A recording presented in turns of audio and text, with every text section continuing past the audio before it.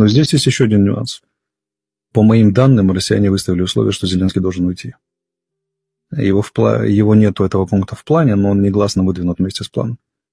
Как будет Зеленский, наверняка знает про этот пункт. Как он себя будет вести в этой ситуации, не знаю, но он будет держаться до последнего, я думаю. Мой прогноз, он не будет отдавать э, власть, не хочет отдавать ее во время войны.